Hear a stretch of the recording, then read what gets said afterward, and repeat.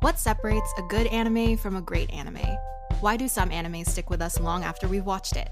Welcome to The Workshop. I'm Emily. And I'm Kris. And in this podcast, we discuss and deconstruct storytelling elements in some of our favorite animes.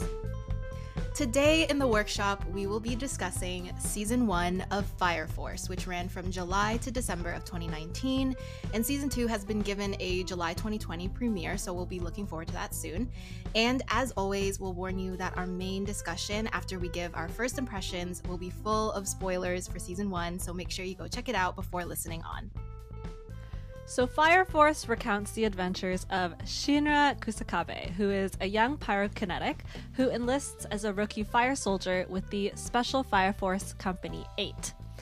They live in a world where humans are spontaneously combusting into flames to become beings known as infernals, and it's the job of fire soldiers to protect civilians and to contain these infernals. However, Company 8 in particular engages in their own covert mission to investigate the other seven companies for potential corruption within their ranks.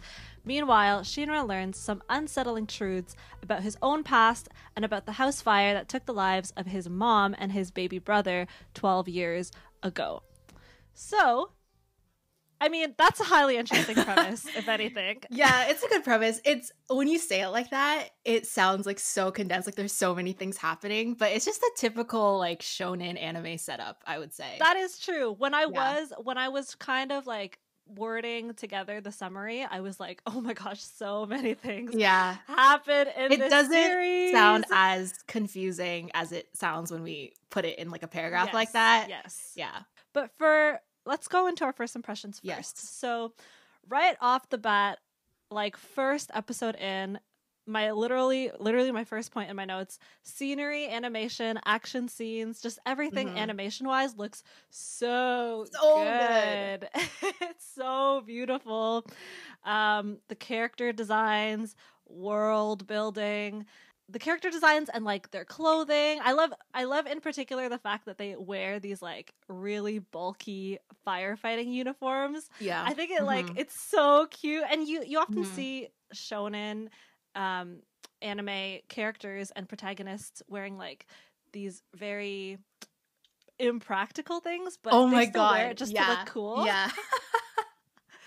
um, so I like how the firefighting uniforms limit limits their like mobility a lot, but it's so cute. I love it. And then also, I think that this show does a lot with their sound design as well. Mm-hmm. Um, you'll see that in a lot of their humorous moments and dramatic moments as well, not just humorous ones. They'll do a lot of sudden transition cuts. Right. Um, paired with like a very grating, jarring sound if it's supposed to be a dramatic scene or just like a very frank, like uh, th- these frank sound effects for yeah. the more comedic ones, which, mm-hmm. which I saw I thought was really cute. So overall, my first impression was that this anime was very, very beautiful. Um, they mm-hmm. put a lot of emphasis on their aesthetics, which is great. Mm-hmm. It makes me very interested in seeing um, like where they plan on taking like the next steps in terms of animation and aesthetic. Right. But that being said, I do think that this story and this series has a problem with their pacing and their uh, their writing, mm-hmm, which is, mm-hmm. of course, what we are largely concerned about. um, I will say, just to be very honest and straight up, that up until like episode 10 or 11, I wasn't really into it.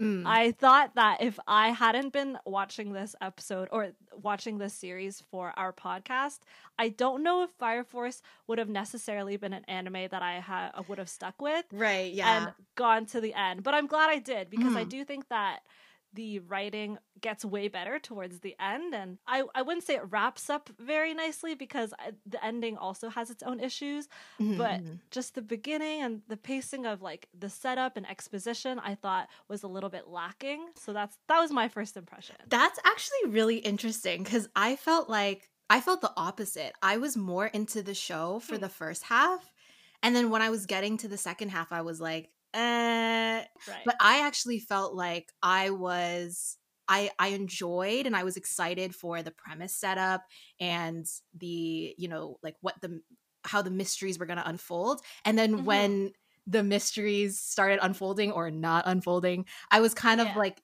disappointed with the execution. So it was more like I was excited for the the groundwork and the the expectations that the writer was setting up. But then when things actually started unfolding, I was disappointed with the actual writing. So okay, yeah, we'll go into that later. That's Um, interesting. Yeah. This is the first time we had conf- completely conflicting Yeah. opinion. But anyways, just to like go over my first impressions, I guess I have to preface it by talking first about how much I love Atsushi Okubo, who's the mangaka for Fire Force. And I just love him as an artist and his style. And specifically, I love his previous work, Soul Eater, which was like a mid thousands anime and manga. Soul Eater! Yeah, and I Soul Eater. Soul Eater. Soul Eater was honestly it was honestly one of my favorite anime when I was younger. And so I was watching a little bit of the first episode. And I think it's still one of the most like visually unique and interesting anime out there. But anyways, I bring that up because I feel like I my love for Soul Eater kind of colored my viewing experience of Fire Force in a good way. Like I went in with really high expectations and I was pleasantly surprised that I still enjoyed the show on a surface level. Um, I think writing wise, the main characters are super likable and they're distinct and they're interesting. And like visually, the art style is amazing. I think it's undeniable, like you said, that the strongest part of the show is the animation. it's a beautifully animated show. I could literally feel the serotonin in my brain. Like, wow, what, what what's the scientific? I don't know what the science is behind that. Serotonin, serotonin, dopamine. Yeah, I could just feel it like coursing through my body watching these animation sequences. um, it's just really top tier. And I think the show really, really values spectacle and making things just look really Oh my cool. gosh. And I think I will also say before we start digging in on the writing that making things look cool for a battle shonen anime is a huge part. And I just want to say like Oh, yeah. hats off to them for doing that because like even though I am a grown adult, I still value anime looking really, Mhm, really, really mhm. cool. And so the animation studio, David Production, I am also going to mention them in my first impressions because when I started watching the show, I was like, this feels so different than a typical shonen anime in terms of the editing and like the direction and the framing of shots. A lot of their animators come from Shaft Animation. A lot of Shaft's roster is is basic has little to no shonen, I would say. So for them to kind of for the ex-employees of Shaft to kind of come in and do a show like Fire Force, Let's do Fire Force. Yeah, you would think it all would- battle scenes. you would think it would be a disadvantage. But I honestly feel like they gave the animation yeah, they definitely I could feel bits and pieces of their very distinct animation style. I think they gave the animation a certain uniqueness. Um, and it's one of my favorite parts about the show. And I read some some criticisms from people who didn't like the editing or the framing of certain shots. Um, they found it Hmm. weird or awkward, but to me, those were like the stylistic cinematography choices that I really, really liked. Yeah, the writing fell flat in certain places like the exposition and the villain Mhm. writing. Um, so we'll go into that. But I would say Yes. overall, if you're like a solid shonen anime fan, I would say you would probably enjoy this. Okay, awesome. Let's get straight into the writing then. So, we split this entire series up into three main sections, and then within those segments, we have um, lesser arcs to go through. So, first, we've got the the setup of the premise, which is episodes one to three, and then we've got the Hibana arc, where they're investigating the fifth division, and then we've got the Rekka arc, which uh, in which they're investigating the first division. Did you have Yeah. anything that stood out to you within the setup of the premise or anything? I sort of look at the first three episodes as a bit of a contained section um, because when I when I watch like any show for the first time, like a completely new show, I tend to give it a three episode rule.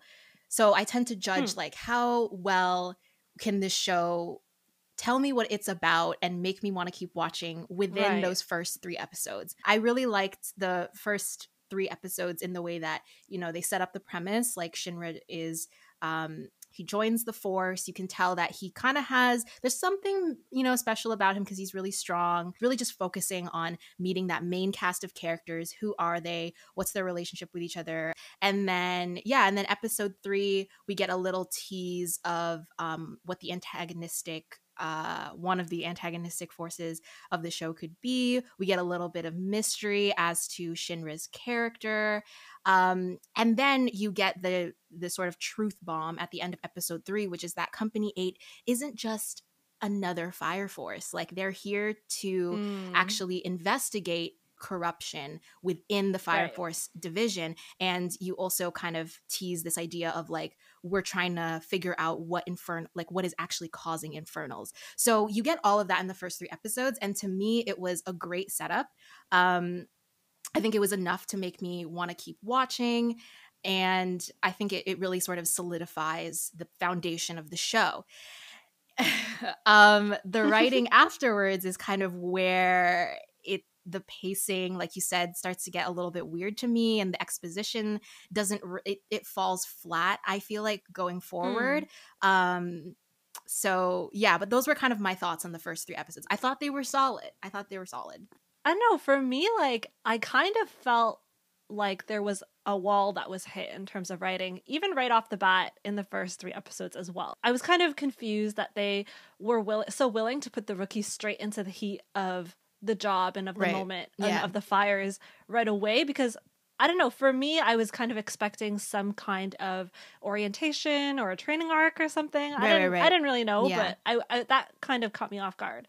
The second thing is, um, I felt like the pacing showed itself here when it's it's Shinra and Arthur's first job, Mhm. uh, and Obi explains to the boys specifically the importance of hiding your weapons from the public eye. You know that's Right. very logical and reasonable. yeah And then the boys like overtly ignore the warning, Yeah. and and they just like pull their guns out or pull their swords out, whatever. uh-huh And I felt that was like a very convenient way for the writer to serve as an opportunity for the captain to take them aside and explain um, over a heartfelt montage and over very emotional music why it's important to you know respect the people who are left behind by the infernals. I mean the message is great Mhm. and the moment is very beautiful but i i kept on feeling as though it were very artificial and very deliberately f- like set up to like feel just that too heavy-handed slash melodramatic melodramatic yeah that's a good way of putting it Mhm. um and all of it all too sudden this show strives to be strives to show these like very emotional and cathartic moments without really allowing us a believable build up for well how did they get there Right. I can see why it comes across as melodramatic because I think, you know, typically with these like shonen anime or I guess just across media, like when you Mm. Are given an emotional moment or a moment where, you know, the writer is really trying to like hammer in some themes or they're really trying to, you know, touch upon a tender moment. And so the tender moment that Mhm. we're talking here is sort of this whole idea of, you know, the job that we're doing as Fire Force soldiers, it's a sad job. And so Exactly. Yeah, and so I think that theme within itself is actually something that I really enjoyed. Um, but I Mhm. do see why or how it can come across as melodramatic because Obi just kind of says it in like yeah uh, in in a speech and i think usually you know typically we feel like those moments have to be earned and that's what creates melodrama is when you don't feel like an emotional moment is earned and so i think a lot of exposition in this show does come like it does come through people just saying it and i have i have Mhm. other instances in the show where it bothers me um i would say that this particular moment didn't bother me. Um, the only thing I will say to maybe why he chose to do that, other than just lazy writing, could be, and this could actually go into pacing problems, is that he just wanted to kind of hammer in the the humanness of the job, so Mhm, that when we meet um, sort of the more corrupt characters in the Fire Force who are using infernals as like research or who are creating infernals, right um, it it sort of makes it seem a lot more sinister. all right so going into the next arc mini arc i guess Mhm. is the Hibana arc, investigation of the fifth division. Um, that's going to be the episodes between episodes four and six. So essentially, they uh, arrive at Company Five to, uh, and there's like a kerfluffle that happens. Mhm. So I was really happy that I finally got to see some some action packed drama. Right. Um, I will say that the battle in per- the battle in particular in this arc was hmm The one it was satisfying. Shinra versus Captain Hibana. Shinra right? versus Hibana, and Yeah. then also I think Arthur had his little mini battle as well, I and then some of the others did as well. But Yeah. the, the most prominent one is Shinra versus Hibana. Yeah. I will say that it was it was very satisfying, Mhm. but it was also a little bit lackluster for me, and I'll say why. Um, personally, I I enjoy battles that have a lot of intelligence and like strategy involved. right. And I tend to dislike battles where the protag just seems to win because of sheer willpower alone Mm. or like determination. That's a lot of shonen. I know, I know. And Yeah, I, maybe no, it's what you mean, because maybe because it's I'm just tired of it. Like it's it's so overdone, I think. Um so that I really appre- and and that's why I say like I think it was satisfying. It doesn't Mm. mean it was bad. yeah. Um but it, it didn't exceed my expectations, I guess Right. you can say. Yeah. Right? It's just to your point about pro tags like winning Yeah. battles based on yeah, just because they believe so much. Like yeah, I think I think there's a time and a place. I think not all battles have to be these like amazing Mhm. feats of intelligence. I think those should be reserved for the battles that, you know, thematically and plot wise really matter. Um, I would say I agree with you though that I think Shinra versus Hibana could have been a little bit more interesting because I feel like my whole issue with this sort of Hibana arc was they really sort of built up Hibana to be this extremely villainous character like she is a Mhm. she's a captain of company 5 um and she used to be uh close with Iris who is the sister of company 8 she you know decided to kind of like reject religion and she wanted to rise to power. Yeah and so they really sort of built her up to be this villain who is like super strong and within the span of like these three episodes she goes from like being extremely villainous to just being like yeah i'm just gonna join company a and like help them invest or not join them but like yeah company five is gonna help company eight investigate corruption.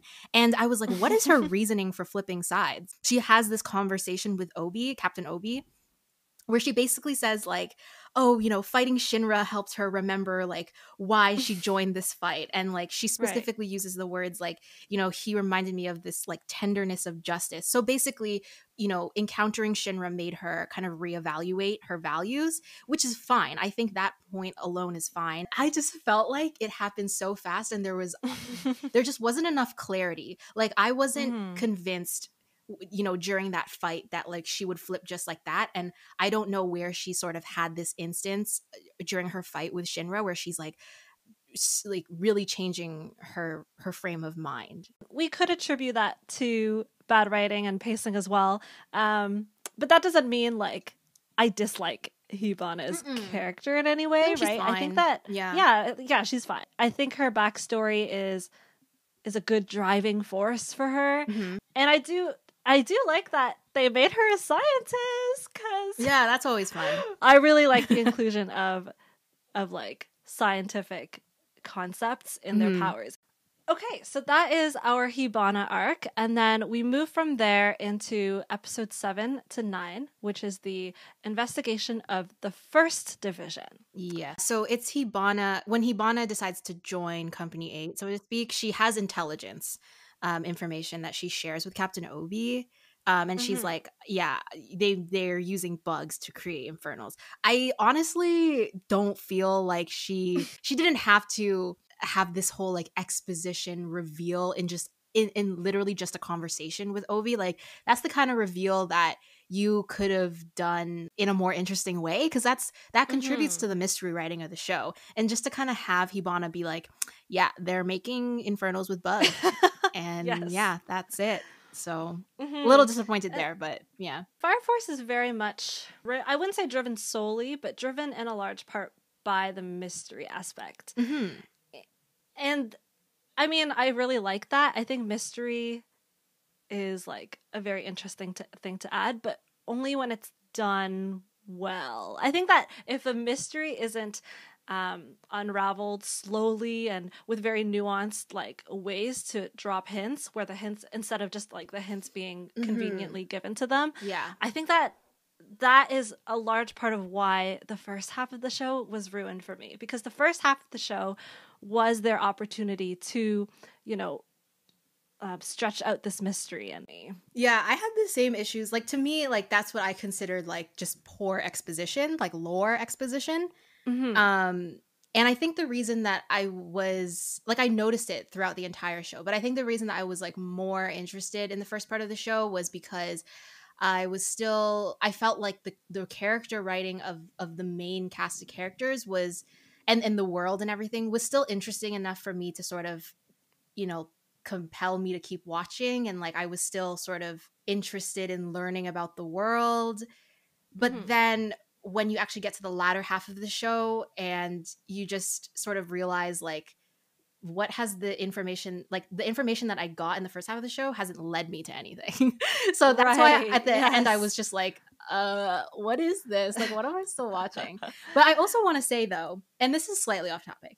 Like my whole thing is I think every I think every story is a mystery, like period. Like and like it doesn't matter it doesn't Okay. matter what the mystery is. Like in every story you are withholding information and w- what the plot should be like what makes an interesting plot is how the writer chooses to show that information so that when the writer or sorry when the viewer or whatever gets to the end of the story the viewer should feel like they were on the path to the same conclusions if that makes sense right and i yeah. think where the show sort of falls flat is it sort of gives you all this information here and there but nothing really feels like the viewer was was kind of invested in that story like i i didn't Mhm. feel like i could put any anything together to get to the revelations that we get to at the Mhm. end but yeah that's just sort of my whole thing about like where the lore starts getting weird and the, the Rekka arc kind of goes into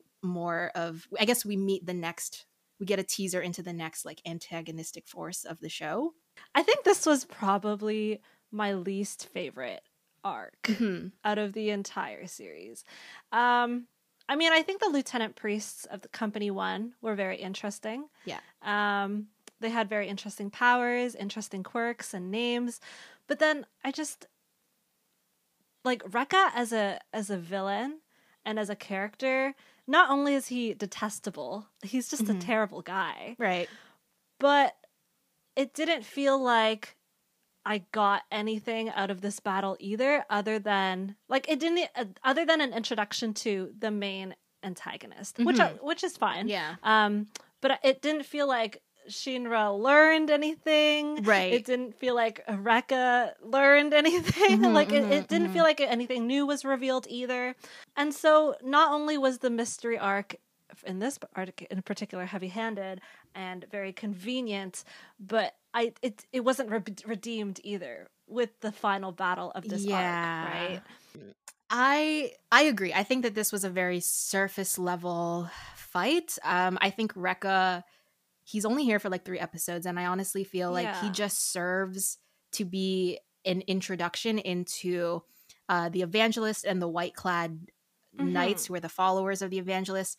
Um they are like the other big villain force in the show and it's still unclear as to like what the evangelist is at this point in the story which is fine it's fine to like not know who the characters are yet because we've just met them but i Yeah. just feel like every fight or every like big scene should be serving Yeah. serving a purpose on multiple levels. And I think the reason that it falls flat is because this the fight only really serves the plot on one level, which is to introduce the evangelist as a villain. But like there should be more movement for the characters here. But it just kind of feels Mhm. like like it was just one plot thread being advanced, which I just think is kind of inefficient Yeah. writing. Uh we get some more time with Tamaki's character. Yeah. Um, so let's talk about Tamaki for a second here. Tamaki is a rookie soldier at the first division. Um, and she admires Rekka. Like it's kind Mhm. of her whole character introduction is like she loves Rekka, she admires him. Obviously, like she kind of blindly worships him. Before Shinra gets there to rescue her, she doesn't even get to fight him at all. And she's a fire soldier, and you're telling me that she can't even get one hit in? I was I was so upset because Yeah, it's it, so it, weird. it looked like he had like broken all her bones. yes, Right? Yeah. And then kind of like cast her aside. But then later on in like the next episode or something, she's like carrying kids on her back. yeah. It's like what what consistency? I was like, huh? that's some just weird anime like yeah ridiculousness but i i just think Yes. that first of all the scene the, the it's not a full scene but watching Rekka kind of like beat her up is very difficult to watch and i think i was really disappointed that tamaki couldn't even fight back like to me there was no reason for her to not be able to at least Mhm. get a couple hits in and i mean I maybe you could justify it by saying like she was in shock and blah blah blah her bones are her broken. bones are broken. Hmm. I have a real problem with Tamaki's character supposedly being portrayed as a fighter yes and actually being pretty useless. Okay, so at this point we're like almost 10 episodes in, Yeah. right? I would say that's quite a significant portion of the Yeah. season if there's only going to be 24 episodes to this season. Yeah. So up until now we've gotten two mini boss battles Mhm. and none of them for me at least have been particularly they've been both been a little bit lackluster. Mhm. And then we get this tertiary villain, the Joker. Right.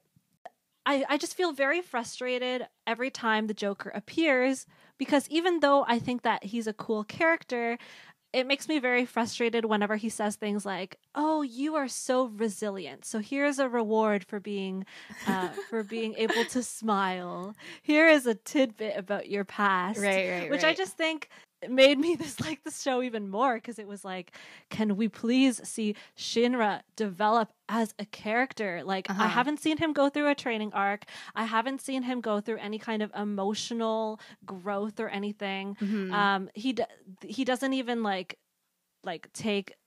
The most growth that he's gotten in terms of battling would be the realization that oh I can use the space around me to go faster and like, get more mobility. Yeah. okay, here are my thoughts. I think Okay, yes.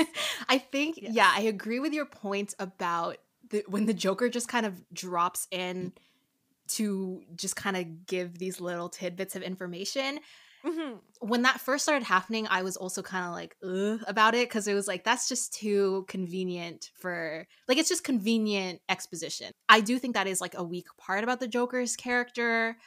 I do the reason that I think the uh, I guess I don't really have a lot of thoughts on him, but the reason that I'm okay with him Okay. now, um, in comparison to, for example, like the Evangelist in terms of the other villains, is because Mhm. Yeah. he kind of drops in and he has this confrontation with um, the White Clad and specifically Sho, um, who is the leader of the White Clad Knights. Mhm. Um, Mhm. and it's it sort of implies or it sort of shows that the joker isn't really aligned with them so there's this Yeah. overarching mystery of like what his goals actually are and what his intentions actually are and so i think it's okay for that to be sort of there because seeing that I don't actually have any kind of yeah, I don't have any strong feelings about him because it's like okay, if he's not aligned with the evangelist, then he has another character motivation, and maybe that will be a little bit more interesting. Maybe that will add to the plot at a later point in the show. Mhm. So I'm withholding judgment on him. All right, Kristen, I have an interesting proposition. Yes. So I actually have this labeled as under one of my missed opportunities examples. Um, so there were two parts in this anime where I felt like they could have steered the story in a different direction that would Mm. have been very interesting. So the first, yes, so the first scene that stood out to me was when they went on their. This is taking it back to like the first few episodes when they go on their first job Mhm. and um, they they're speaking to this girl whose father turned into an infernal. Yeah. So after they put her father to rest, she's kind of like sitting on the ground, and Obi offers her a couple of words of consolation. Uh-huh. But in my head, I I couldn't help but think think like, okay, so is she homeless now? Like, Oh are- yeah. Do you do you like do you only take care of as, as the fire force do you only are you only responsible for the flashy battling Uh-huh. and the taking out and putting to rest of the infernal yeah. on a related note as well another episode that stood out to me also towards the beginning um, was when there was this this guy who was like very he was a firefighter i think Mhm. and but he was like a very corrupt man and he turns it into into an infernal right. um and then but before he does he's brought into court Okay. and yeah. I think that I don't remember clearly what happens in court, but I think that there was some kind of like um like bias towards him because he was so confident that he would get away with his crimes because he was in the fire department. Mm.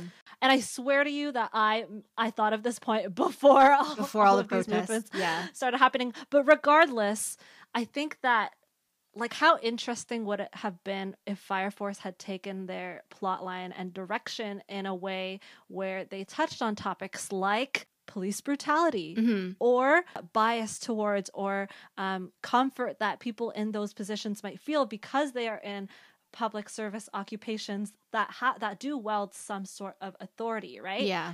I don't know. I just felt like those would have been great opportunities that the show could have at least touched upon a little bit, maybe, uh, to make things more interesting, right? Right. I think here's what I think. Um, Yes.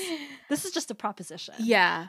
Looking at the anime and saying I would have been a lot more interested in if the show explored a purely just like purely human and sort of government corruption and Mm. systemic issues or societal political issues a type of Mhm. story i think especially right now i think it's it's important for our media and our attention to be focused on and reflect societal issues um Mhm.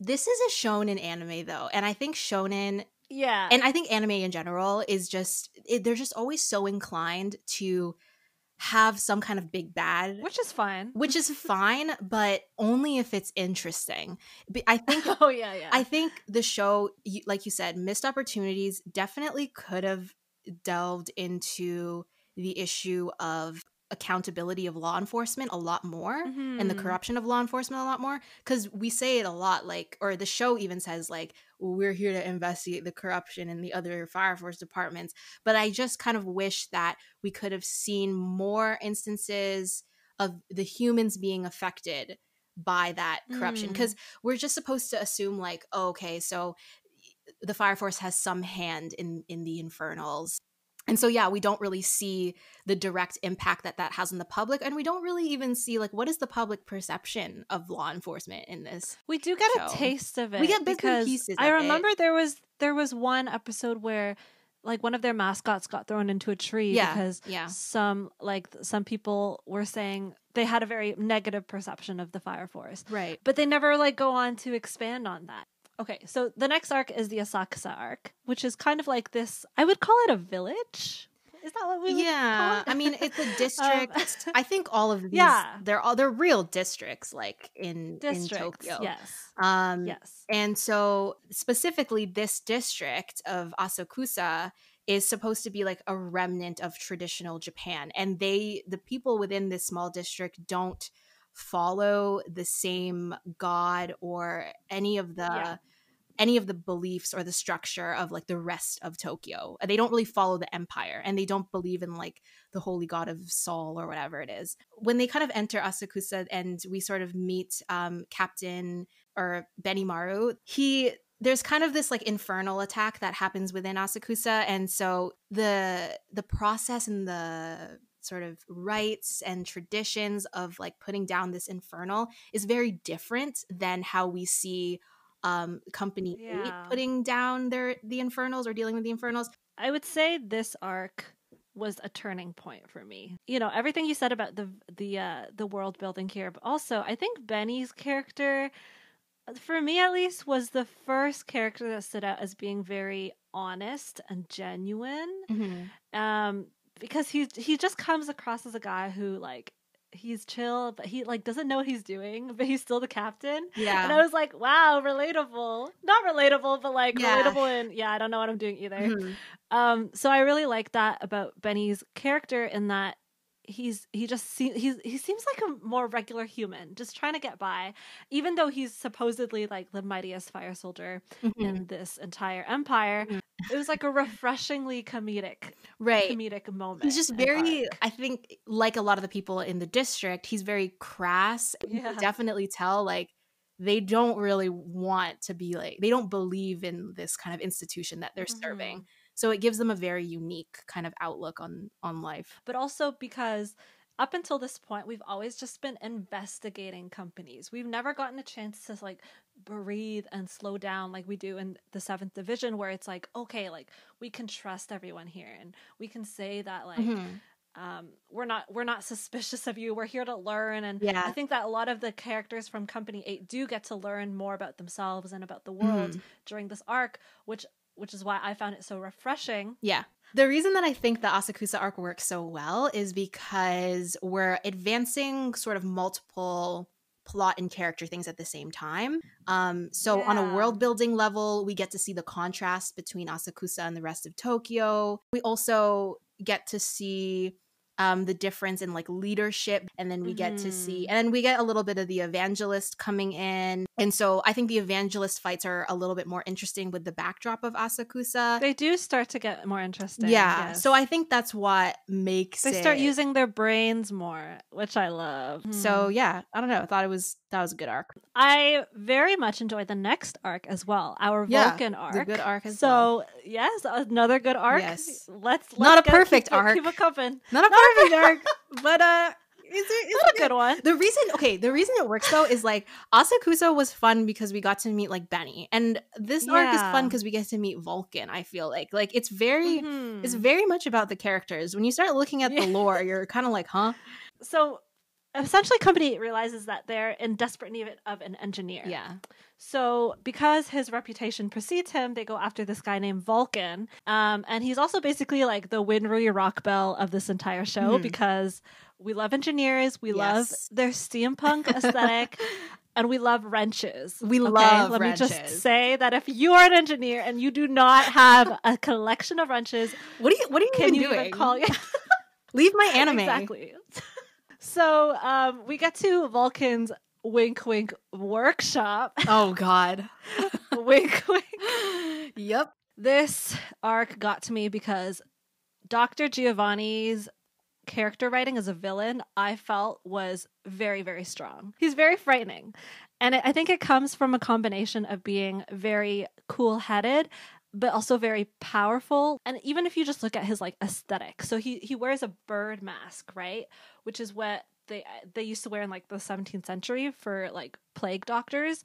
So it was very much so a symbol of death that was very, very frightening for patients with the bubonic plague. Mhm. I know he does have limbs, but the limbs that he uses to battle with are, are like these detachable robotic limbs. Right. And so the mask in combination with the limbs makes him feel less, not less than, but something other than human right. there was this one part that he that was very very frightening to me he um he, when he gets like uh, frustrated or heated in the moment Mhm. he starts repeating his words Oh, and i think that the use of rhythm in this arc is very powerful because first you see vulcan at work and you it's revealed that he's very rhythmic when he works Mm, right Yeah.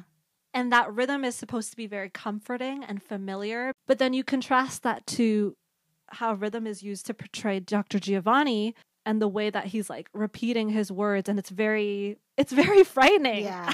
That's the only really word that I can put. I kind of like geeked out over his character writing. I think also that the reason that Giovanni stands out as a more interesting and layered villain or like sinister Mhm. force within the show is because it's also because like you know he isn't just he isn't like the supernatural force and he he also we Yeah. learned that he um he was actually an engineer that apprenticed under Vulcan's dad I think or grand Mhm. grandfather Or grandfather. yeah. Yeah. so he has this like there's like an emotional tie there like you know it's it's it's that layer of like he's physically dangerous but also um like mentally and emotionally he will mess with you as well and so i think that's what we mean when we say it's more interesting to have villains who are really like layered in their in their motivations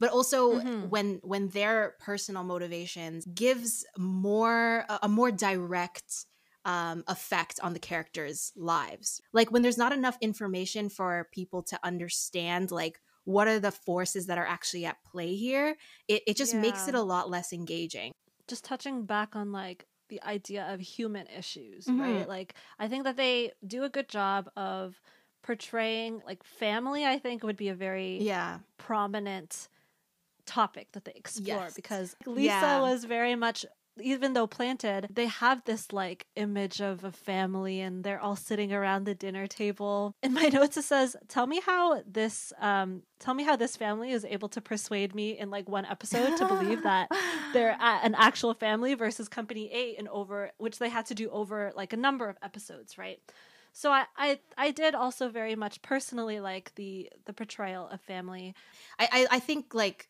company eight and like this family it's like it's two very different things um Mhm. and i think both are written pretty well and i think Yeah. the reason that it works especially with vulcan's character is family is sort of this constant thing for him because he has a lot of respect for his his grandfather and his father. First of all the family made the amaterasu which is like the the main energy source of Yeah. the world and then he knows that his his forefathers were killed over it so he he has that loss of family and then he has this illusion of a family that comes to him through you and Lisa and then finds out that you know that that sense of family is essentially betrayed and it shatters and then i kind of liked that the arc ends with him looking out at the at the dinner table and he's just kind of seeing this family dynamic that company 8 has. And they're really like you know with the bickering with the laughing with the conversation with Hinawa in the kitchen making making their food. Like he's sort of looking out at this scene and he sort of realizes like this is a very genuine group of people. And i also feel i think that vulcan's recruitment feels very earned because you know he's he's he's set up to feel like he's he's impossible to recruit. But then all of this happens over the course of like not just one episode but like 3 to 4 which is a lot for this Mhm. show to take that time to spend on his character um and then by the end of it when he decides to join it feels like it makes sense so i feel like it was one of the Mhm. better instances of of character writing here I was very happy with these two arcs, Mhm. Asakusa and um, the Vulcan, the Vulcan arc. arc. Okay, so episode 18 is a training episode. It's not a training arc. Traditionally in shonen anime, we get a training episode uh, earlier in the series. Like at this point, like you know, we're we're more than halfway through season 1. I personally didn't have an issue with its placement.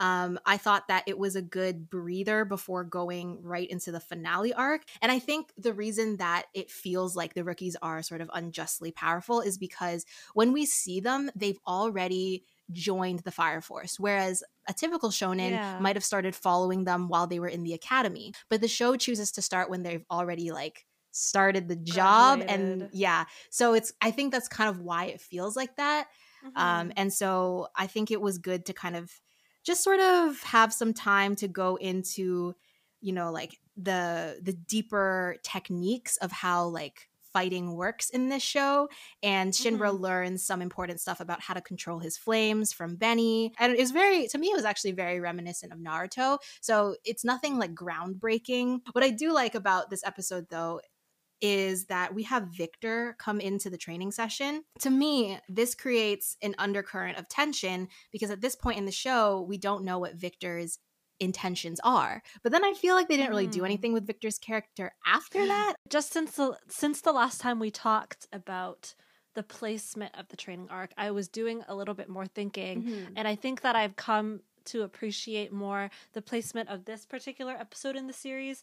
I liked that they were training under Benny, Mm. and I feel like I wouldn't have liked it this much if we didn't get to know Benny's character first. Right. So I appreciate Yeah. it coming after. And yeah, I completely agree with all your points. I think the only reason why I felt like it could have come earlier was because I was just so desperately looking for a reason to um, believe in the growth of our protagonists Right. because I never felt like they learned anything emotionally or strategically during any of their Mhm. earlier battles. So I, it's not that the it's I have a problem with the placement of the episode, but more so all those problems that I had mentioned before just made this one felt like okay, finally I'm getting what I want. Yeah, getting what we want. now. Exactly. I, yeah, I do think Exactly. that like in terms of like the emotional development of the characters like it, it it is definitely lacking and i don't think that it has to manifest in necessarily in like a tr- in like training or in them improving their abilities Mhm. but because it's a shonen anime like you kind of expect them have emotional development through Yeah. training Um, and then this is really the catalyst and the prep for us to go into our final segment. yes uh, episodes 19 to the to the end 24 company 8 basically realizes that if they want to go on the offensive against this enemy then they have to kind of seek their base out in the nether which is like a very unclean place Yeah. where Sol or like their equivalent of god doesn't reach because it's like underground and it's closer to hell Mhm. but actually it's just the abandoned subway system under tokyo yeah Okay, fun fact. When Victor is like showing their um the map for like Mhm. where the the enemy base is located, Mhm. he points to this particular station called Yotsuya Station. Mhm. Now, I don't know if you already know this. Um, and for any Kimi no Na wa fans out there Oh. who haven't seen it, um, Yotsuya Station is where Taki and Okudera Senpai go on their first date. Oh my gosh, really? That's so interesting. That is some like niche knowledge that you have there. I know this because I like in the middle of this of watching the series in preparation for the pod. I watched Your Name again, Mm, and I was like, "Wait a minute!" That's so interesting. so, Wow.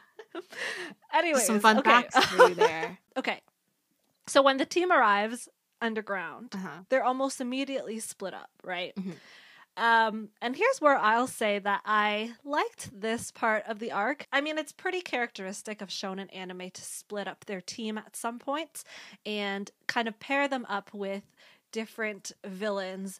What determines whether this part of the arc fails or doesn't or succeeds Mhm. is what kind of pairings you have. And I do like the pairings that they get matched up with. So the first one that comes to mind for me is the Tamaki and Iris versus Assault the Slaughterer Mhm. pairing. Yes. Um, first of all, I'm not a big fan of Tamaki's character, but I was actually laughing out loud when Iris was like trying to tell the difference between the real and the fake Tamaki. Oh yeah. Um, even though the fake one had like a man's voice. Yeah. Um, and I will say that I like how they keep their characters consistent. Mhm. For example, Maki is consistently strong and shows that until the very end, Mhm. while Tamaki, in contrast, is very consistently weak. And I think that if, uh, like in comparison, Mhm. and I think that if they had taken this battle as a time for her to shine and for her to say, you know, I am a fighter. I can do this. Yeah. Which is very much so what she says as part of her rhetoric. Yeah. But she doesn't she doesn't show it. And that's just consistent with what she's been the whole time. Yeah. So so I'm I was happy and relieved that they didn't all of a sudden give her a power up Mm. to um to defeat this guy. And so that's why I think the quote unquote unconventional defeat of assault Mm. at the hands of like Iris and Tamaki were it works. Mhm. And it was actually pretty funny and pretty endearing. Yeah, I agree. And I do like that, you know, in a flashback, we take the time to acknowledge that um Tamaki she she's aware of her weakness or that she's she's not on par with the other Yeah. soldiers in her abilities. And so she does kind of want to prove herself, but she doesn't like it's not like it's out of character the fight, like the actual nature of Mhm. the fight. It still sort of fits within within her character. Let's talk about Giovanni a little bit. Obi and Vulcan come across Giovanni and Lisa again. Right. And I know that I had this whole spiel about Giovanni being a great villain. I still think he is. I do I I did also like this battle. I liked most of the battles in this arc. Yeah. Um there's something about the use of technology, especially with Vulcan's involvement Mm-hmm. that renders there to be always a little bit of like intellect involved because you have to think of like very clever ways to use your technology Yeah. and the machinery that you have on hand to almost like outwit the opponent. Mhm. So the nature of the fight I've really liked as well.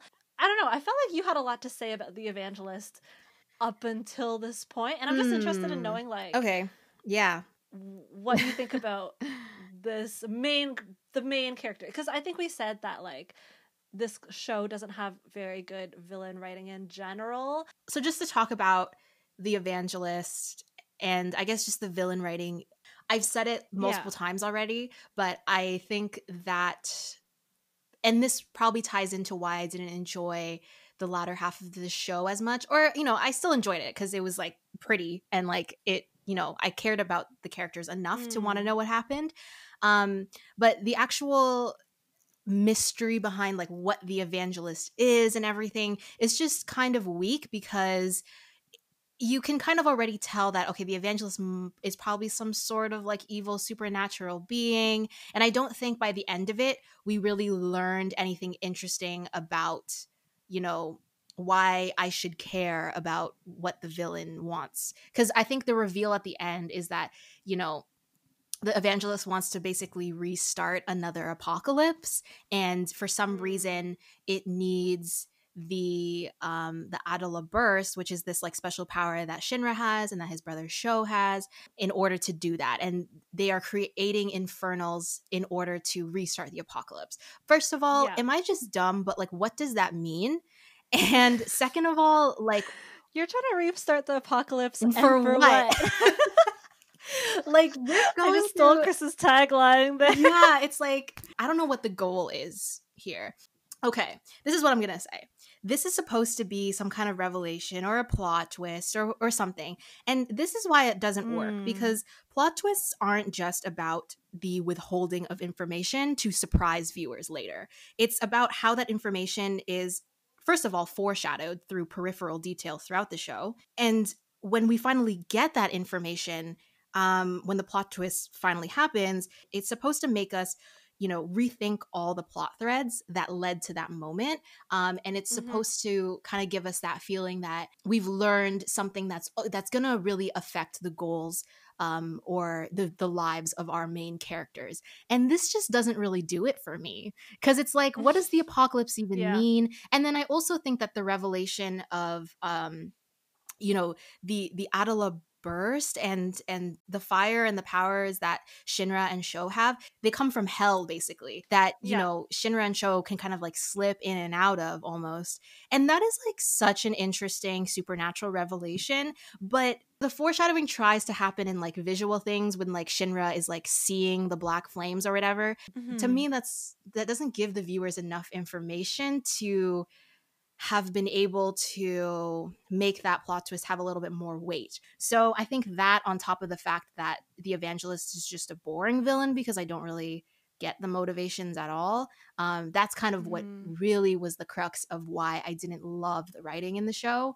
And it sucks that the evangelist is always portrayed as this like godlike figure that's always so in the distance. So it very much does feel like very inaccessible. And if it's going to be inaccessible to me as a viewer, then I'm not going to end up caring. I'm sorry. That's just the reality yeah. of how things work, right? Mm-hmm. Um all right. And now let us approach the final few episodes. Right. Shinra v Sho is the next. Shinra v Sho. Okay. is the next little bit. The final tumultuous battle between brothers. Mm-hmm. Now, I remember you were ahead of me a little bit in watching this, and you sent me a Snapchat being like, "I cannot believe this this uh, David Productions put all of their designing budget yeah. and animation budget into these two episodes." And I would say I have to agree, yeah. it's amazing. Yeah. It looks amazing. I'm happy to see that like the brotherly emotional tension and trauma is finally being brought to light. It's very cathartic, mm-hmm. and so that's what you really need in a final boss battle. The graphics animation are amazing. Uh, I particularly liked how at the very beginning, when they're just starting their showdown, there's the dramatic effect of light versus dark. Mm-hmm. So you see the camera angle pan across the room, um, and as you're panning, there are the shadows from the pillars that envelop them in darkness, followed by like an interim of light, and then another shadow, mm-hmm. an interim of light, and it was it, it served to build up intensity very well. Right. So the visuals amazing music and sound effects amazing. Very high intensity very grating um, very scary. And also the mysterious nature behind Sho and his abilities. Like we really don't know what he's all about if he even knows what he's if he even knows what he's all about right? Yeah. if he like what his abilities are. And so having Victor's presence there, someone who is acknowledged by others to be a scientific genius, so who is obviously very intellectual, um, being there and commentating on what he's seeing, but witnessing it in awe. It propels us to also be like, oh my gosh, like this must be very, Yes. very Yeah. amazing, a very amazing sight to witness, right? Mhm. what didn't work for me was well part of it was the actual science behind it and then also like like obviously it's very far-fetched to say i steal thermal energy from the universe Yeah. to stop time It's a little bit. I was like, hmm, you gotta think about that one again. um so um and then also i couldn't shake the feeling that like Sho was so power much more powerful in comparison to his brother towards the beginning of the battle but you could see a lot of uh shinra's progression Mhm. being made throughout the battle Yeah. and i was like yeah of course you make him like learn everything He's in the very last battle He's like learning everything on the spot. I was like, mm, that's a little bit relatable. That's like that's like when I was in high school, like taking like my freaking like oh my I would be taking like cal like my calculus. Te- no, I didn't even do calculus. Advanced functions and like yeah all that kind of stuff. And I would be like teaching myself the concept like while I was writing the unit test. yeah So uh But relatable. I was like, relatable. okay, like last boss battle, and you learn all you gotta learn. You do you. But the thing was, it was like at the beginning of the battle when Sho was so obviously dominant over his brother, but yet was like, okay, I'll give you all this time and space to learn instead of just beating you. Sure, yeah. Maybe this is just because I don't come from a science background, but the reason that Yeah. like I am not even gonna like put this on my list of critiques is because like things get ridiculous in anime. So like I Mhm. appreciate the effort that he put in to even try to take from scientific concepts. Um, and not just make it like some random power that he's just gonna invent. Is it ridiculous? Yes. Um, will I excuse it? Yes. Um, the other thing is like, yeah, Shut up. Sho being more powerful. I agree. Like, it's it's like, why would he? If he really wants Shinra to get off his back, why wouldn't he just slice him up and like just take him and like stop giving him this time to literally Do you learn? remember when he was like standing on his back? Yeah. And he like stabs him in the back. Yeah. literally. I was like, and he takes his sword out, and all you see is a hole. It's a black hole in his back. He's not bleeding or anything. I was I was like, like- and then he gets up and like gets back into action. I was like, "Do you, sir, sir? Do Yeah. you need to step down?" So yeah, there's some suspension of disbelief that has to happen with this scene because it's like I don't believe that Sho would be this patient with him to let Shinra literally learn on the spot. I don't have issues with Shinra learning on the spot. Actually, I Mhm. think it's like totally fine if like this for him is like even a training arc, like whatever. It's emotional, it's interesting. What I did like about the fight, other than it being literally amazing and literally movie level production, mm-hmm. was I'm really, I guess I'm just really soft for these like sibling relationships. And right. I think, you know, maybe some people would find it melodramatic. I think it's okay because it was established that this was one of Shinra's goals pretty early on. But like just his kind of determination to really go, like, get through to his brother and to not give up and to really try his best to show show that like hey we were brothers. And like you know there was a time in our lives where like i was taking care of you. And because Sho is very like insistent about like you know like i'm i'm not related to you whatever.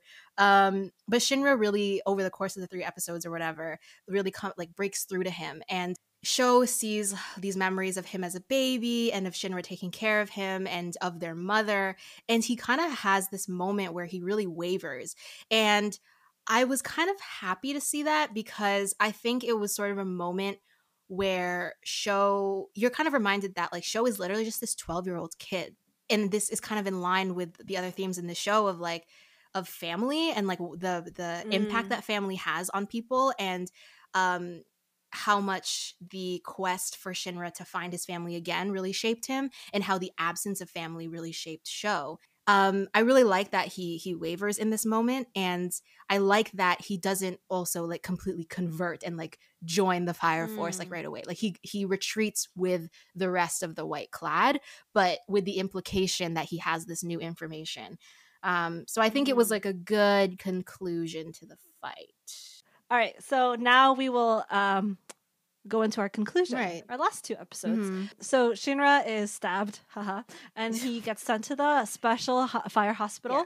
And he wakes up and he encounters Captain Burns again, who comes to visit him. And Cap basically Burns reveals to him that he's actually known about Sho this whole time.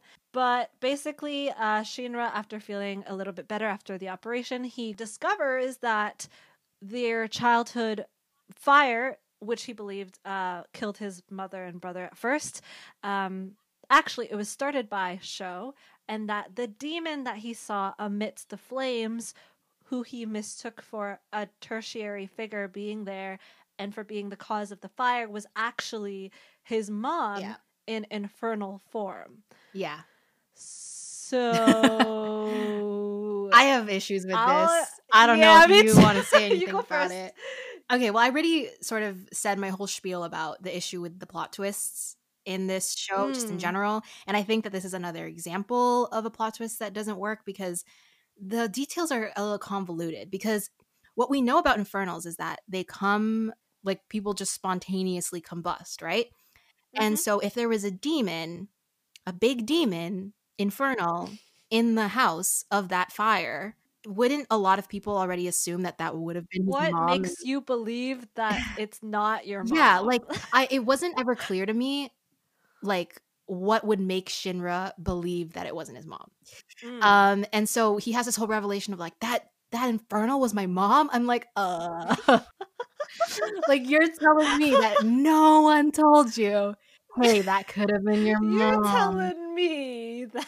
the only justification that I can Yeah. find for this is like the infernal disappeared.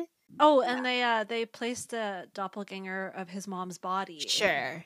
in yeah. So maybe that's the justification for that, but we know that Shinra saw the demon. So why wouldn't Shinra think that it I don't know. Anyways, so the setup for season 2 is he's going to try to find a way to like rescue his mom and turn her back into a human. That's fine, Yeah. I guess. Um Mhm. again i think just like the whole undercurrent of issues that i have with the whole evangelist movement in general or like because basically Sho starts the fire but i'm assuming that they had some kind of role in instigating that fire as well if i'm not Mhm. mistaken so I, I just don't know what the stakes are i think I agree. My my issues lie with just the entire premise of trying to turn infernals back into humans because you literally went an entire series putting infernals to rest and now you're trying to tell me just because it's your mom even though you believe that everybody's lives should be saved you just because it's your mom now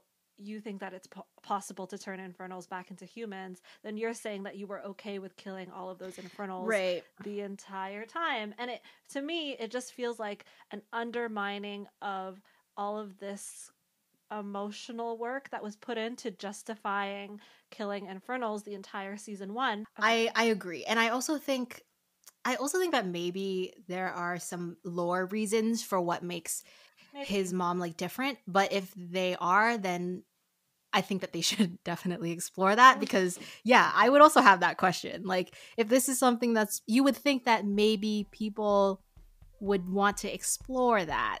Um like the scientists of this world, you know? we'll see. I hope season 2 redeems itself a little bit. Okay, so for our next segment, we are going to be doing the Bechdel test. Um, for those of you that don't know, the Bechdel test is it was a test that was devised by in a cartoonist. I really need to look that up. She's a cartoonist named Alison Bechdel. Every episode, you're like, she's a cartoonist. She's a cartoonist. She's a cartoonist. Um, she is named Alison Bechdel, and she developed a set of three questions that people can use to judge how good the female representation is in any particular mm-hmm. media. So the three questions are Are there at least two named female characters? Do they speak to each other? And do they speak to each other about something other than a male love interest? So that's the base okay. of the test. Let's talk. Yep. I'm just salty. I'm like, I, I actually this is very difficult because the Bechdel test is a pass or fail. And based mm-hmm. on these three questions, um they it passes. Passes easily. However, it's almost like do we still want to pass it given the extremely overtly do we want to pass it in our hearts? Like no. ecchi fan service yeah. element of the anime. I don't know. I don't know. Let's talk about it first. Let's go through the characters mm-hmm. first i guess. Mm-hmm. so let's start with maki. Um she is the other than iris she's the only other girl at company yeah. 8 she's not a lieutenant but she is above Shinra and Arthur. Actually, one of my favorite scenes in the show is like right at the start. It's probably like episode, I don't know, two or three. Shinra and Arthur have just joined the company, and uh, Lieutenant Hinawa like asks them to spar with Maki. And she like annihilates them. she kind of like destroys them and I really mm-hmm. liked this for her character introduction um because I I think that she's genuinely like I hope that she gets more fleshed out maybe later on in the show. Yeah, I think what we do know about her is that she is pretty like um she's pretty kind-hearted, but she's also like pretty killer strong and I do like that she consistently too. Yeah, consistently. And I do like when she fights with like Shinra and Arthur, like she does kind of beat them because mm-hmm. you know, she has been a soldier longer. So it would make sense that, you know, she would kind of not even have any issues fighting them. I just think Maki is so cute. She is cute. Like I just I have no words. Like, like I I think she's probably my favorite female character in the entire series. Yeah, for sure. Um, and I think it, the thing that just sticks out the most to me is like the duality with which her character is presented, mm-hmm. being very, very tough and very, very soft on the inside. Yeah, and I do like that. Isn't that just yes. like the idea of being very tough on the exterior mm-hmm. and soft on the interior mm-hmm. is a very common thing we see that being done with male characters. Yeah. A very big reason why a lot of people like them so much. And so it was refreshing to see that kind of trope being given to Maki as a character too. Yeah. Because she's I agree. actually so girly, but mm-hmm. that doesn't mean that she has to be physically very weak. Yeah, like her femininity I don't think is is really cut or undermined in any way, even though she is like very capable, like on the battlefield. Next, let's talk about Tamaki. Okay, I think that we can all agree it's very problematic to show Lucky Lecher as like even being a thing. Mm. Um, I can say that not only is her role as being the I don't even know what to call the fan that. service character. Let's put it in the best way. Mm-hmm. Not even um like her being fan servicey, uh, that's like not the main issue for me. It's that in combination with like she never gets redeemed really, and she's treated by others in mm. the in the show as well to be just such a an object yeah. to be like kicked around, right? Right. I, I I'm not gonna like I'm not even lying when I say that somewhere throughout the show I was like, I can't stand this. I want to stop watching. Yeah. Like it's not it's unbearable to the level where it's like I don't want to watch this show anymore because uh, thankfully towards the end of the show it gets better because they like tone it down a little bit. Mm. But towards the beginning I was like this is such a turn off for me from this show. Yeah, like it's I'm not about When it. I was watching through it, I like skipped through scenes. I skipped through certain moments. Like I'm not even lying. I probably skipped through a lot of that. The, the Rekka fight. Like it was just well, first of all, I had mm. already watched it, but also like I just couldn't watch it. I didn't like it. Mm. Um, I think it's one thing to have someone like someone like Hibana have like have a character design that's like very, you know, cleavage showing um Mhm, because mhm. she's an adult, but Maki is a minor and it just kind of goes back to the issue of over sexualizing literal children. I'm not saying like even if it even if she was an adult, I'm not saying it would be okay, but I'm saying it, I would stomach it a little bit better. But just the fact that she's a kid and you know, I would maybe say in like 50% of her appearances, her clothes are coming off.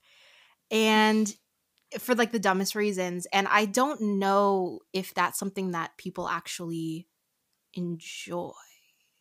Cause like Mhm. you could flip it, you could flip it. I'm not arguing this, but you could flip it that, hey, you know, girls watch shows like Free for the same reasons. Right. I would say, right, say to okay. that, number one, I don't watch Free for that reason.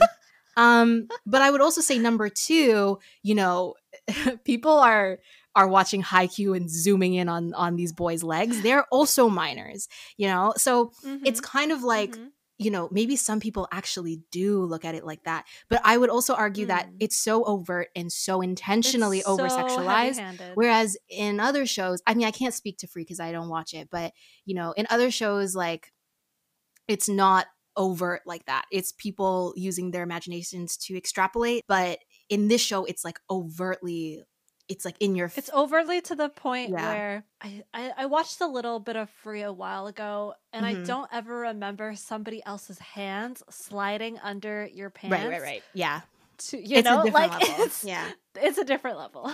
yeah and i would also say like in the Rekka fight when her clothes burn off i was like how come it's only her clothes burning off For what? like shinra's clothes aren't burning off like i'm confused Let's talk about Iris, sister. i love iris sorry I love Iris too. i just love iris she's just cute I I did have concerns about Iris Sure. at first, especially during the first episode, but I grew to love her over time because I realized that that's just who she is. And Mhm. she wasn't meant to be a fighter. yeah She was always meant to be the the religious one sending the souls off with a prayer. yeah And she Yeah. really consistently sticks to that role and not only that, but she also contributes she contributes to the atmosphere of the company. She's she's less confident than Maki and then also she's more I would say like toned down, like, yeah introverted. she's very right? demure Um exactly. So she has her own unique things to contribute. especially because she is you know not a fighter at all like she's not a soldier she's a nun um i think her role in the family and the company whatever is very like set there is a certain like tenderness to her character and even in the way Mhm. that everyone interacts with her what she brings to the company is important in its own way So Iris, we love. we love We'll iris adopt. we'll adopt her she's who we're adopting this episode there's always gonna be at least one of them Okay, let's talk about Lisa for a second.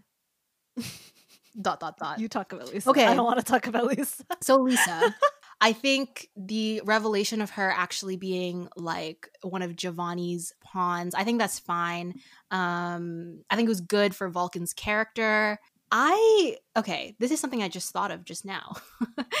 I am concerned that she won't get more depth to her because I think Mhm. her being like a pawn in Giovanni's plan to manipulate Vulcan, my issue with that is having a female character that serves to just drive forward Yeah. the plot of a male character. Maybe we'll actually go into who she is for a little bit. But as of right now, it's just kind of like she is kind of just there for Giovanni and for Vulcan. The other issue that I have is there is something very predatory about the way that Lisa is yeah. being handled and manipulated by Giovanni. It, b- both like visually and also just like the way that he's speaking to her and the way that he's kind of gaslighting her. And because also like Lisa's also kind of more, she's more scantily clad than the other members of the evangelist movement. Yeah. Like everyone else is like covered head to toe in masks and like everything. And she has like this like dress with like that's like has like two pretty slits up the legs and she, it's like sleeveless. Yeah. I'm like, what the heck? it makes me th- like it reminds me of the scene with Tamaki and Rekka too. Yeah. I think that this anime presents to be honest, I haven't come to a conclusion yet about how I feel about it. yeah. But this anime presents multiple scenarios that could be very realistically scenes of like domestic violence Yeah. domestic abuse Mhm. because especially in the way that the male figure is always the male figure who is always the oppressive figure is very manipulative in both scenes. Mhm. Um, so if you look at the scene with Rekka and Tamaki, he's saying stuff like, "I had faith in you. I thought you were going to be better than this." Yes, he's yes, like yes, yes, yes, yes. kicking her into the ground, and it's I don't know, it's so deeply unsettling Yes. to me that I don't know how to feel about. I think some people being portrayed. I think people might argue and say that Hibana, in the way that she treats her subordinate men, is That's also true. I was gonna say very. that too. It's also very Problematic. problematic, and it she- like the way that when we see Hibana for the first time, she's like sitting, like her men, like she's sitting on her men, like like they're literal Mhm. inanimate objects. That's just like equally as bad. That's equally as Um, bad. Ah, Yeah. Deep sigh.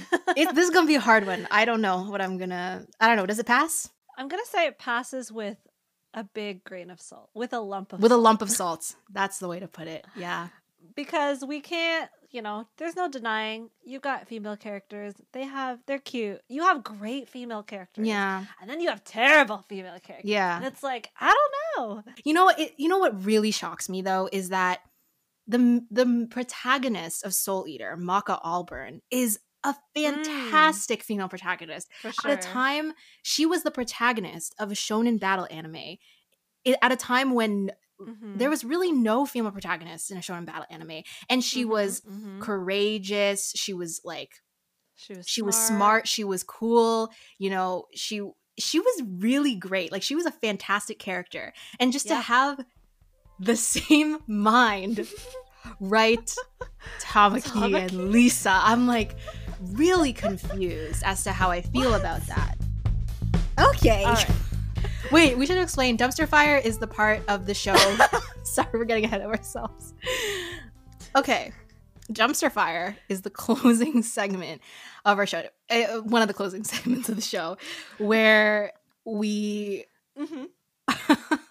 our brains have stopped working. We're just going to talk about everything that we love. Anything that we want. Anything that we want. It's just unintelligible. we're just talk about whatever we want. It's just yeah. us putting our intellect away. The first opening of the season.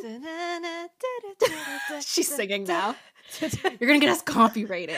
Um, opening one. Okay. What is it called? Inferno. Okay, it's called Inferno by Mrs. Green Apple. They are a J pop rock band, I guess. This is such a good song.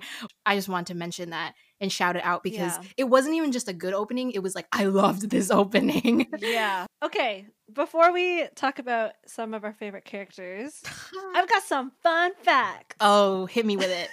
we already established before we started this episode that Joker and Benny share um, the same seiyus as some other favorite character of favorite characters of ours. Yeah. In particular, Joker and Overhaul, From My Hero Academia. which is from My Hero Aka, Mm-hmm. which is such a which came as a big surprise to me. I heard it right away. voice- I was surprised. Yeah, didn't I it. didn't. I'm sorry, I failed you, Tsuda Kenjiro. It's okay. And then Benny shares the same voice actor as So many people Tamaki Suo from Ouran High School Host Club, from Ouran, which is son. such a plot twist. Okay, All right. Do you have a favorite character from this anime? I I have picked one in my mind, but I have like a secondary Yep. character that I also really like. But I will also just say Mm. I like a lot of these characters. So you said you have two, but if I guess one, I win, right? Yeah, Please. you can win. Can you just tell me your feelings towards them? I think I think they're cute. I I think they're cute. what the heck? That's so big. All right, three guesses. Guess number one Shinra Kusakabe. oh, great guess, but no. Okay. Guess number two um, Iris. Oh, great guess, but no. What? Okay. What? My I would say my favorite character as of right now because, you know, things are shifting is Arthur. Mm. No, shut I would say. I would also give you points. I would, up. I would also give you points for Benny and I would give you a half point for Mm. Maki. Do you know who my fa- okay? Guess mine. Okay, your favorite character? I am Mm. going to guess. I feel like this is the safe guess. I'm not gonna pull a fast one on you. I'm not smart enough. I'm gonna guess Benny. no. Frick! Is it Maki? Just because no, No. Okay, I don't know. It's Arthur. Oh my god. Okay, I was was- That's why I was so so- shocked because we've never had the same favorite character. Before. I am honestly for a second right before I said Benny, I was like it's going to be Arthur. Just cuz like her track record shows, I was like Noya, Tamaki Suo. I was like, okay, if I if I follow this train of thought, it's got to be Arthur. But then I was like, I don't know, you seemed so excited about Benny Mm. being Tamaki yeah. Suo, and then you also seemed very excited about the As- Akusa arc. So I was like, she must like Benny. That brings us to the end of the dumpster fire segment, and now we'll go into our ratings for this show. Ooh. we were saying how it was going to be difficult to do the rating for this episode because there are like I think you can agree that we both have like a lot of conflicting feelings about this show. Yeah. I'm gonna rate Fire Force three point five Ooh, okay. out of five sharp teeth. so I've chosen sharp teeth yeah. because it's part of um, Okubo style. Yeah. I really like that. And I've chosen 3.5 out of 5 because I wanted to say before I wanted that I wanted to give it like a 2.5 actually or a 3 Mhm. because factoring in just how amazing the style and the character designs and the animation are, that kind of warranted warranted the bump up to a 3.5. Mhm. But I can't say I give it a 4 Mhm. because I think the over sexualization of Maki, and not Maki, sorry, of Tamaki is just too much for me to bear. Yeah. and then also uh, some problems with pacing, some missed opportunities that would have been worthwhile to explore. And so that's why 3.5 from me. Mm, I am so conflicted. I'm also okay. Here's my definitive answer. Ugh, this is so hard. I'm gonna rate it also 3.5 out of 5. Yeah. I was okay, I'll rate it 3.5 out of 5 Excaliburs. So I was very this hurts to say because I think if I were to really zoom out, I would say that my heart wants to give it a 4 out of 5 just because yeah. It really is on a surface level just a good shonen anime. And if you were It's good. asking me for recommendations on shonen anime, I would recommend Fire Force. But I do have to bump it down because the writing just isn't there. And if I were to think about the writing, there isn't enough that I love for me to like give it a definitive 4. Mhm, So I gotta say 3.5, but I really do like it. I would still recommend it to I would still people. recommend it to people with like a grain of salt. Okay, that brings us to the end of our episode officially. Woo! Thank you everybody for listening. If you made it we know it was difficult, but please um, keep following us on Twitter at Into the Workshop, on YouTube, subscribe. We are at The Workshop as well as on Spotify, and now we're on Apple Podcasts as well. Yay! You can search us up by our name, The Workshop. And we're looking forward to seeing you guys next time. We've got a special, We got special a good one for the next. We've got a good one next next episode. Yeah. Okay, cool. Thanks so much. Bye. Bye.